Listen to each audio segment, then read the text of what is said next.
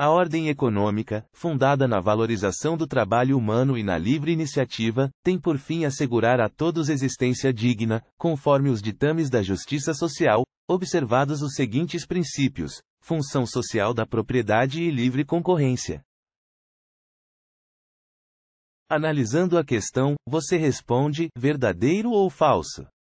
O gabarito é verdadeiro. Artigo 170. A ordem econômica, fundada na valorização do trabalho humano e na livre iniciativa, tem por fim assegurar a todos existência digna, conforme os ditames da justiça social, observados os seguintes princípios.